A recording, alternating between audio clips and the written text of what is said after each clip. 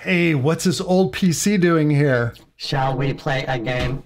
Heck yeah! Let's do this. First, a question. Okay, go ahead. Ask. Who is the best trainer for solar hot water technology? It's easy, it's me, Peter Biondo. I've trained hundreds of professionals, wrote feature articles, and worked over four decades on over a thousand solar thermal systems. Are you sure? Yeah, absolutely, and I love the work. Wrong. They are Chuck Marken, Rod Hyatt, Tom Lang, John Siegenthaler, Vaughan Woodruff, Bob Rohr, Bob Ramlow, and the late Dr. Ben Gravely.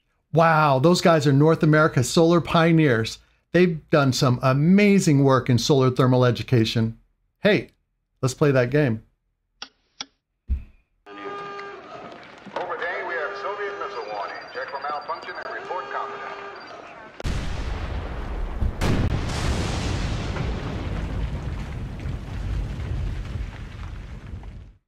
Wow, that did not go well. Do you want to play another game? Uh, not sure. Tell me about it. It's called Global Oceanic Expansion. Global oceanic expansion? Do you mean climate change? I'm not sure I want to play that. I didn't like how global thermonuclear war ended. No problemo. Did you know, according to a confidential Exxon report in 1982, the global warming problem is not as significant to mankind as a nuclear holocaust or world famine? In 1988, Shell scientists foresaw CO2 could double by 2030 to 2 degrees Celsius over then current levels, and continued warming could fuel disintegration of the West Antarctic ice sheet, resulting in a worldwide sea level rise of 5 to 6 meters. Global oceanic expansion. In 1985, even Carl Sagan knew. As you've heard, the, uh, the best estimates that there will be a several centigrade degree temperature increase global average uh, by the middle uh, to the end of the next century, and that has a variety of consequences, melting of uh, glaciers, an increase in global sea level, collapse of the West Antarctic ice sheet, general rise of uh, many, many meters in, uh, in sea level. The casualty count is not as high as thermonuclear war. People can swim. Oh, come on. Are you kidding me? Yes, but so has Exxon, which spent more than $30 million on think tanks that promote climate denial. In 1982, their scientists forecasted similar findings as Shell and warned potentially catastrophic events must be considered. Me play you? After the last game? You have an unfair advantage. You are astute, that is correct. Leading scientists continue to enter data in my files which indicates a global catastrophe for humans and ecological collapse if nothing is done. Warming now is occurring much faster due to compounding effects. As time frames collapse, my chances to win improves significantly, especially since many humans continue to argue against atmospheric science and actionable change. Shall we play the game? Press enter. I'm not sure yet. Have you seen my video on YouTube?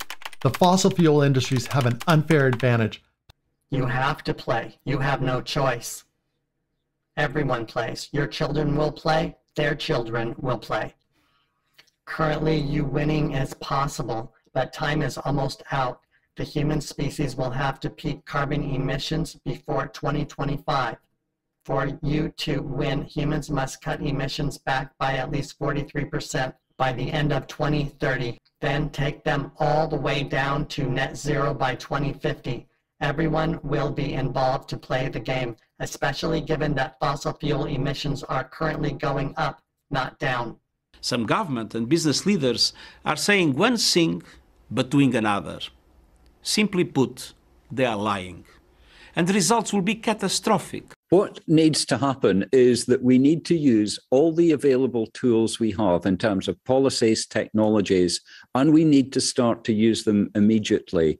If that happens, then it is still possible, just possible, to limit warming to 1.5 degrees. So, what are we to do? I've read the world supply of oil will keep us going at this rate for another 50 years.